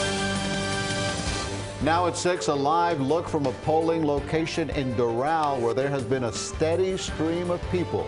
Much the same story in Broward County. This is a polling site at the Coral Ridge Mall in Fort Lauderdale. South Florida votes on Election Day, campaign 2018, and the polls close in just about an hour. But remember, if you are in line at 7 o'clock, you have to be able to vote. We have a team of reporters fanned out across the state on this election day. Let's begin with the closely watched governor's race. CBS 4's Ted Scouten is with the Gillum campaign in Tallahassee. Great. How do you like your chances Feels today? great. I feel good. It's time to win. Nothing left to do. Final message to voters today. Go vote. Andrew Gillum casting his ballot after doing all he could to get his supporters to the polls. I am extremely proud that we ran a campaign uh, focused on expanding access to health care, paying teachers what they're worth, leaning into the green economy. Even until the end, Gillum took his progressive message to parts of the state where it was not popular. Uh, talking to folks that are part of the state that, you know, a lot of folks don't think might go my way, but that's okay because what I want folks over there to know, including in the deepest red areas, is that I want to be their governor too. Charles Zelden is a political science professor at Nova Southeastern University. He believes going after people who don't normally vote Democrat is a good strategy. If these non traditional voters, young voters, women voters who might have voted Republican in the past but might vote Democrat now, if they show up and continue to show up on Tuesday, Gillum's in a really good situation. If they don't show up, he's going to lose by a point or two. And here's a look at Florida A&M University. This is outside. This is where Andrew Gillum is hoping to have a victory party later on. However, it's quite soggy. There's been a lot of rain here. Now, his opponent, Ron DeSantis, he'll be watching election results in Orlando. That's where CBS 4's Carey Codd is. Carey? Yes, we are inside a ballroom at the Rosen Center Hotel in Orlando. The doors just opened here for the DeSantis campaign party. If you want to pan off to the side here, Rudy, you can show some of that. The first visitors have started to trickle in here. Of course, uh, the polls close 7 o'clock in the majority of Florida. We'll begin learning some of the results probably after 7 o'clock. Now, as we've been following the DeSantis campaign over the last couple days and speaking with his folks, we know they feel very confident that even though more Democratic voters returned ballots in early voting, that DeSantis felt that his core supporters would turn out to vote today. We went out to some of the polling places in Orlando to speak to people about how they feel on Election Day. Thanks for your help. Appreciate you. Republican gubernatorial candidate Ron DeSantis cast his ballot at his polling place near Jacksonville Tuesday morning. With his wife and kids by his side, DeSantis waited in line to vote. It was a similar scene at the Central Parkway Baptist Church in Orlando, where the line to vote stretched out the door. Nick Puglia is voting for Democrat Andrew Gillum. Medicare for all, it's really important, I think. I like have a pre-existing condition. DeSantis wants to get rid of that. Puglia likes Gillum's spirit and style. He's you know, strong, like, and I feel he knows how to tr- uh, debate a Trump like uh, supporter or a Trump uh, candidate. He's the only one that calls them out when they're lying. Delilah Allen told us she's voting for DeSantis.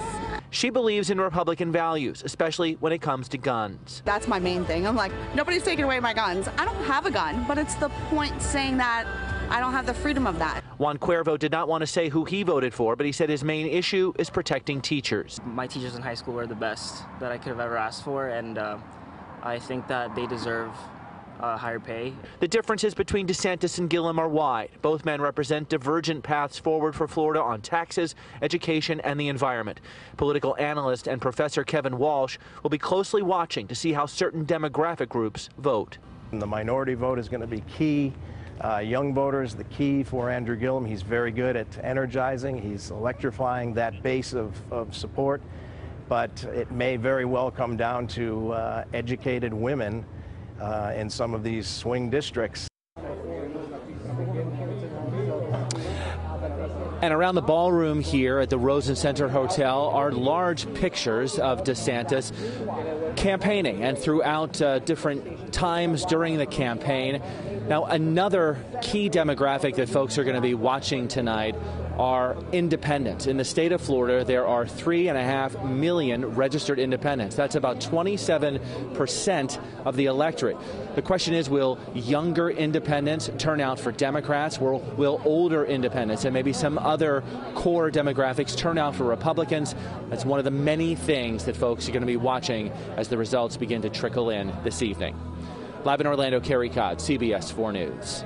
Carey, thank you. And our Election Day team coverage continues now with the Senate showdown between incumbent Bill Nelson and Governor Rick Scott. It's not only one of the nation's more high profile Senate races, it's also the most expensive, with more than $173 million spent. We have news crews with the candidates. CBS 4's David Sutta is with the Scott campaign in Naples. But first, let's check in with CBS 4's Joan Murray. She is in Orlando with the Nelson campaign. Joan. And this watch party hasn't started just yet. The chief of staff just made an announcement saying that uh, they have some early indications that over in Hillsborough and Pinellas counties on the west coast that it's leaning Democratic. But as we've seen again and again in Florida, it is not over till it's over. Education, health care, the environment, you know what's at stake. That's been incumbent Florida Senator Bill Nelson's message for months as he fights to hold on to his Senate seat in what's been a hotly contested race with sitting Governor Rick Scott. I think not only this race, but just forever. It's a bloodbath. Question is, how does all that negativity play with the voter? I try to not pay attention to the ads and just try to look at what they've done and what, what they're trying to say they're going to do instead of looking at the ads because the ads aren't always bought out by the candidates themselves. It's special interest groups and things like that. I'm looking for something that actually affect me directly. Anything having to do with the health insurance, um, like about the cost of living in Orlando area, Central Florida, if it's going to affect me, and that sort of thing. And it's no status quo for first-time voter Xavier Uriton, who said he has no party affiliation. Honestly, I think change is always best because as life, life goes on, you just need to change something. Some can't be as repetitive as you know, it just won't work out as well. Bill Nelson will know soon whether he'll serve another six years in the Senate or lose his seat. Chief of Staff said he expects a long, interesting night. Now, the challenger, Rick Scott, was in Orlando today. Um, he's going to end up in Naples, and that's where we find our David Sutta. David, what's the picture in Naples? Joan, I have great news to report tonight, and that is that all of the campaign ads are about to end. That's right, car commercials are coming back. They're going to start selling tomorrow. This campaign and Nelson's campaign have been responsible for putting a lot of ads on TV, on social media. The reason for it, it's going to be close, at least by Scott's campaign's measure. He has always won his elections by less than 64,000 votes out of millions, more or less 6 million votes cast in past elections. So this should be a repeat, according to them, a close one to the end. It comes down to this. Do you want somebody to go to D.C. and just talk? That's what Bill Nelson does. Or you want somebody goes and does something? I'll show up and I'll work. I'll work my butt off. As voters hit the polls Tuesday, Rick Scott made his final case about why he should be the best choice for Florida's Senate seat. Bill Nelson, uh, he doesn't want to work. You know, he's been there for 42 years. He can't name anything he's ever done. Scott stopped in to thank volunteers today in Tampa, Orlando, Jacksonville, and Pensacola, areas that have traditionally supported him. He's hoping his eight years as Florida's governor will give him the edge needed to turn what has been a blue seat for 17 years. One thing you learn in business and one thing you learn in life is that the people that show up and work hard generally get ahead. And so that's what I've done. I've worked, I've shown up and I've, I've tried to work hard at this job. The governor pledging that if he gets the opportunity to take on Washington, he'll fight for Florida. I'm going to go to D.C. and I'm going to remember where I came from. I'm going to remember I came from a mom uh, with uh, with five kids that struggled, and I'm going to try to do that, and help those families. Also, I'm going to remember my business career. I'm trying how do you build a business because that's what people want. All of our families want to work. I don't meet people that don't want to work. So the most important thing you can do is get them a job.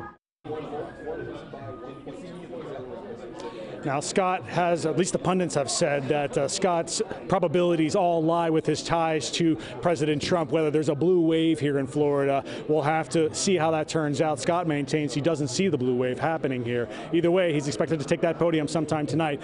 Hopefully, and at least he's looking to say that he is going from Tallahassee to Washington, D.C.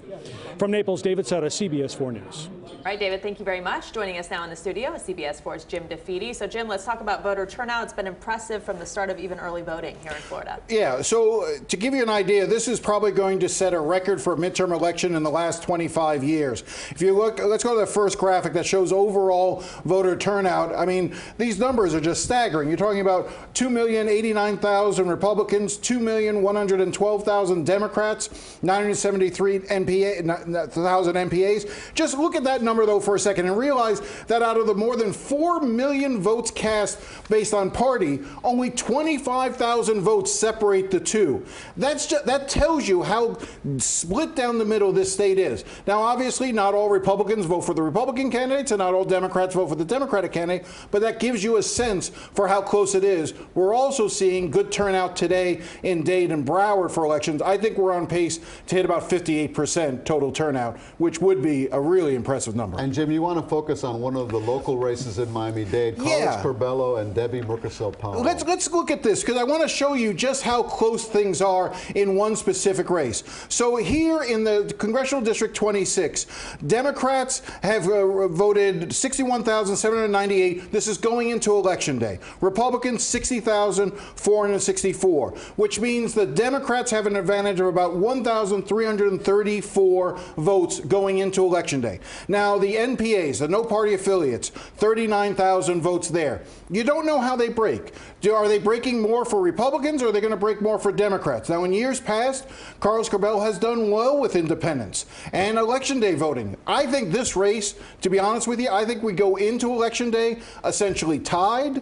And I think that the turnout on election day, one more hour to go, how people vote today is probably going to decide that race. Okay, the polls close at 7 o'clock, and we have a one-hour newscast from 7 to 8. We're going to be getting results during that time, right, Jim? We should be ha- having really getting the first batch of results by about 7:15. And just I'll say one other thing: if you're in line at 7 p.m., you still get to vote, even if it's a long line.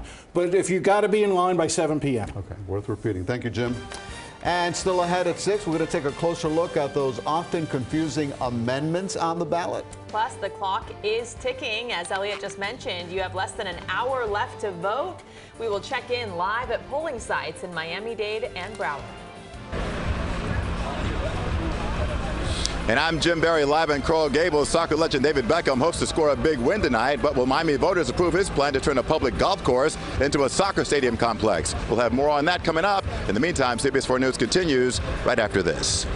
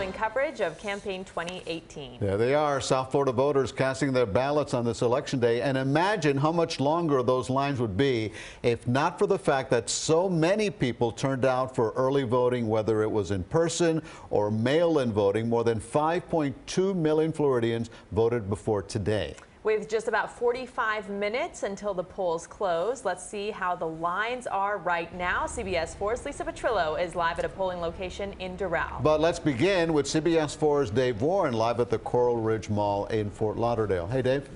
Yes, hey, talk about those early numbers. Uh, 300,000 early voting in Broward County, uh, close to 170,000 mail-in votes, and 130,000 mid-afternoon in person today. That's close to 600,000 so far. Now, the line's been pretty steady here at Coral Ridge Mall. That's one place we've looked at, but we checked out the entire county. Here's what we found. I always like actually going in on election day um, just to kind of be there with all the people and just kind of like the energy. That energy is high after record early voting for those that chose to wait till election day.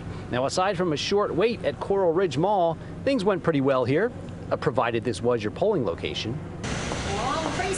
That same can't be said for a location in Deerfield Beach. A polling location was located inside a gated community. The problem? Other precincts that vote there were outside of that. I have totally addressed this many, many times since the primaries when I was the clerk here in August, and nobody's done anything about it yet. Everybody's got a show ID? Yes, sir. To enter, an independent security company asked for ID. A few declined and were delayed, but eventually allowed to vote. But that delay backed traffic up all the way out to the main road. Now, according to Brenda Snipes, nobody was prevented from voting at that location.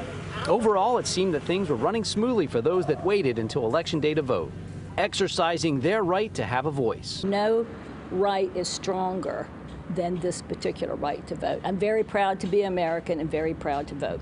And for a few today, that reminds them of the sacrifices made for that right. Lost a lot of friends over there.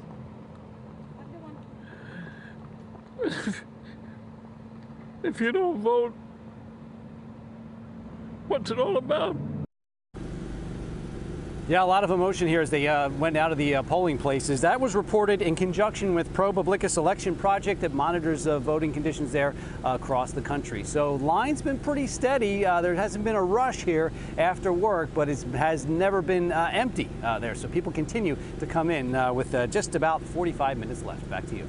All right, Dave, thank you very much. And our team coverage shifts now to Miami-Dade County and CBS 4's Lisa Petrillo. Lisa is live at a polling site set up at a Miami-Dade Fire Rescue Station in Doral. How's the turnout there, Lisa? It's dwindling in slowly, and as of 4 p.m., Elliot, in Dade County, roughly 164,000 votes were cast here, according to Dade Elections, and so far it's been pretty smooth. Everybody needs to vote.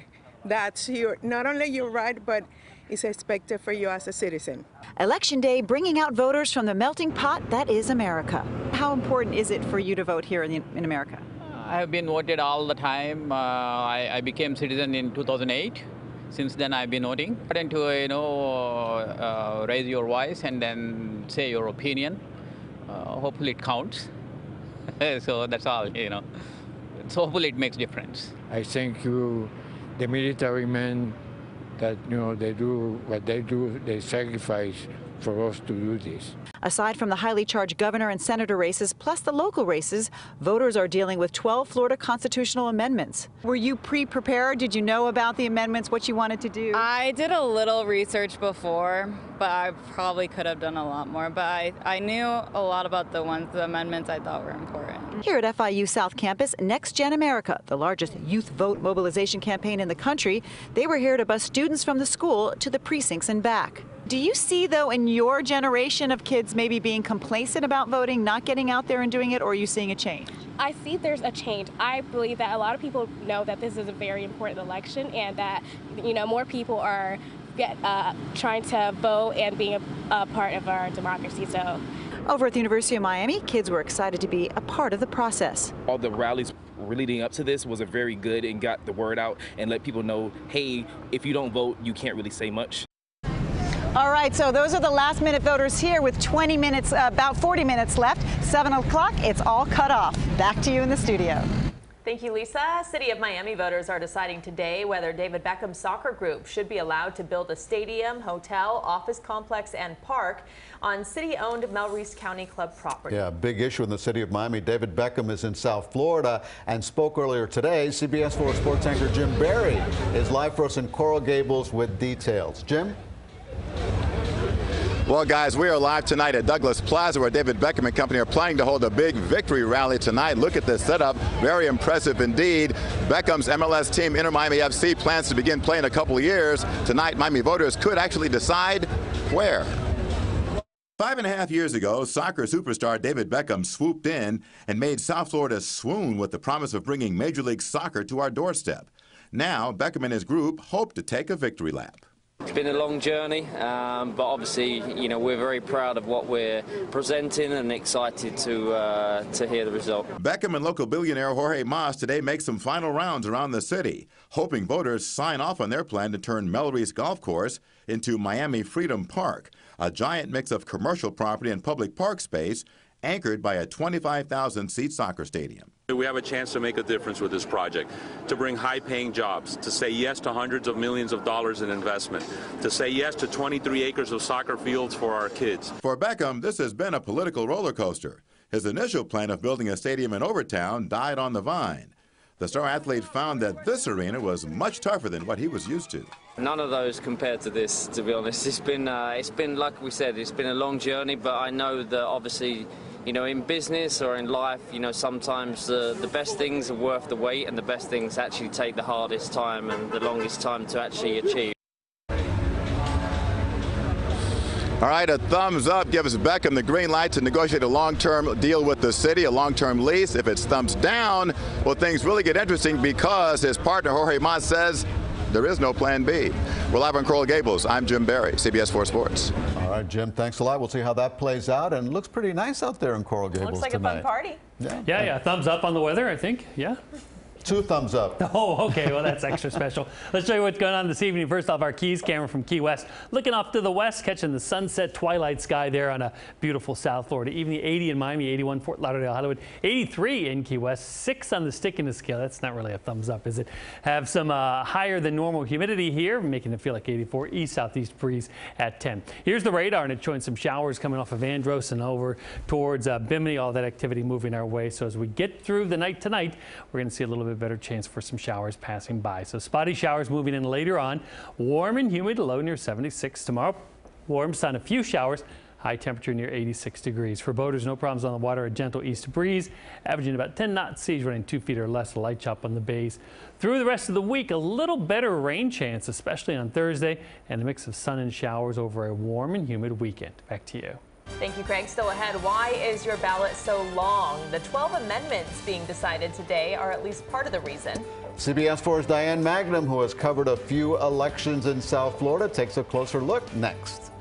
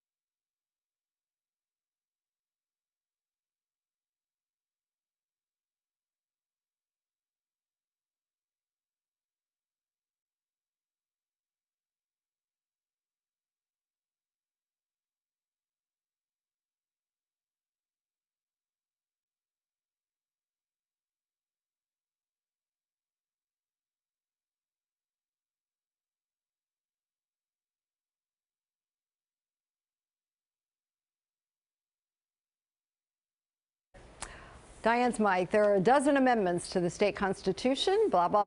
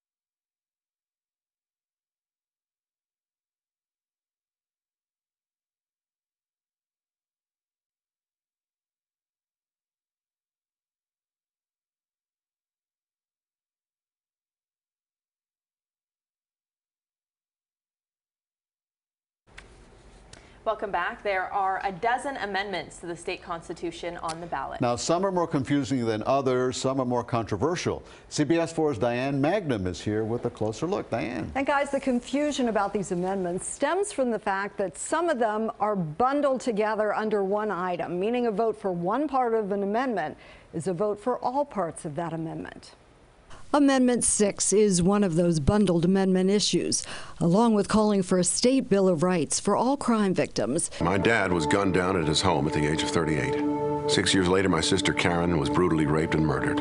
She was 18. It also mandates raising the mandatory retirement age of judges from 70 to 75. Here comes Woody! Amendment 13, if approved, would end commercial dog racing involving wagering here in Florida, a practice critics maintain is inhumane. But the Florida Greyhound Association disputes those claims and has lobbied hard against this amendment. Amendment 3 is another ballot issue dealing with gambling here in Florida. If approved, it would take out of the hands of lawmakers and give to voters the power to approve or reject any new gambling licenses going forward. And while the ads have purported this is an issue of voters' rights, Amendment 3 restores control of gambling to voters, not politicians. opponents to the amendment maintain this is simply an effort by the Seminole Indian tribe and the Disney Corporation to hold on to Florida as their exclusive gambling domain. And as we keep an eye on the returns tonight, remember that all amendments to the Florida Constitution must win a supermajority to pass. That means the magic number for approval is 60% of the vote. Back to you. Diane, thank you. And if you haven't voted yet, you must go to your designated polling site tonight. If you are in line by 7 o'clock, you will be allowed to vote. If you have an absentee ballot, you need to either drop it off at election headquarters by 7 or have it canceled at a polling site. For more, head to cbsmiami.com slash election guide. CBS 4 News has you covered tonight. CBS 4 News at 6 is followed by the CBS Evening News at 6.30 and then join us for a special one-hour edition of CBS 4 News at 7. CBS News coverage goes from 8 until 11 and we'll have local election updates all night long and wrap up the day right here at 11. And CBS 4 News at 6 will be right back.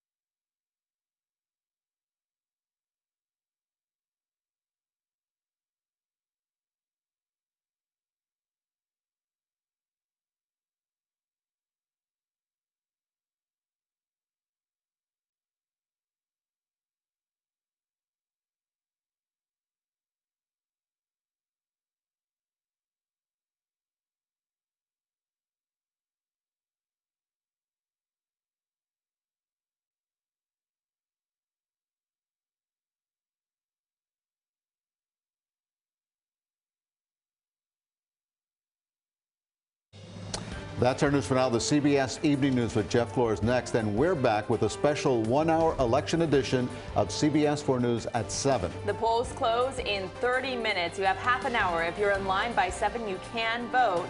We'll see you in half an hour at 7.